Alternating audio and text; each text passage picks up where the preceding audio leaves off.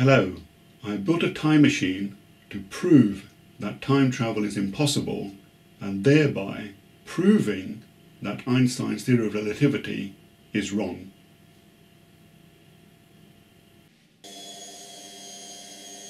Einstein stated that time is relative, not absolute, for every object in the universe, depending on its relative velocity. A stationary observer would observe time on a fast-moving object slow down. This theory has given rise to all the popular theories and films about time travel. As you can see with my demonstration of a time machine, if an object moved through space-time, it should disappear. It should no longer exist in our timeline. It should not matter how much an object moves through space-time, even if it were a microsecond or a picosecond.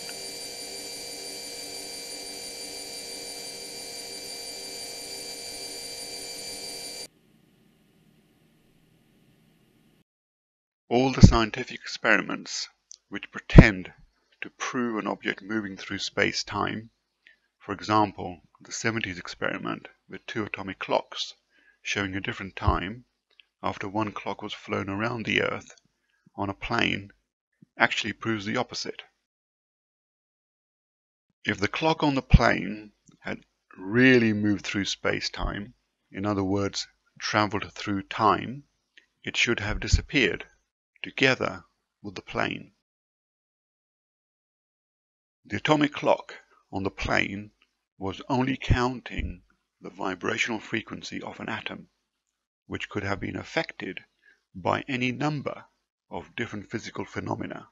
For example, gravitational drag, centripetal forces, centrifugal forces, and so on.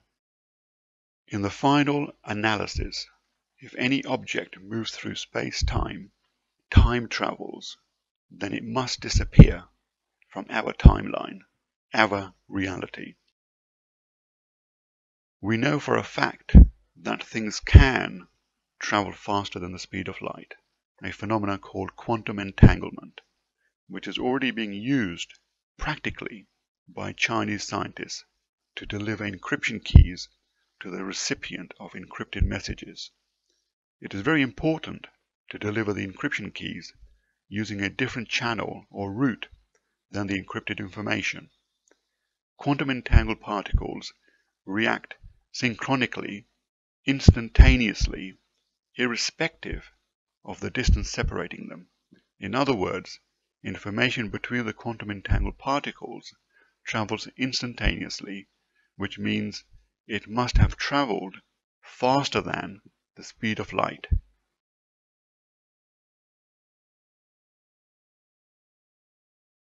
Wormholes in the universe are also nonsense.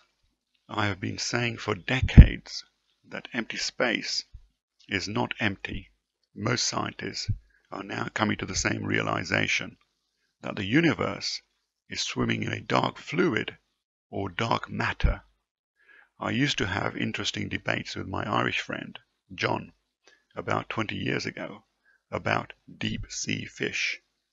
Are they aware of the water around them, since they have never been outside of the water and cannot survive outside without the physical support of the water, even if they could breathe air?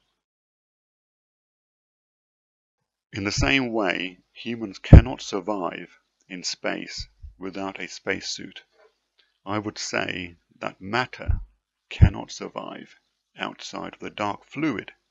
Atoms and subatomic particles would disintegrate without the physical support of the dark fluid or dark matter. A wormhole, by definition, would really be a tube empty of dark fluid in which even matter could not survive.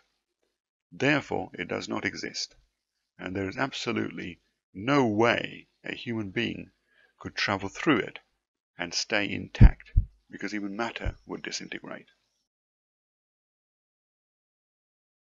I hope you have enjoyed my time machine demonstration and my theories based on this concept. Please subscribe to my channel for more thought-provoking videos and books. Thank you.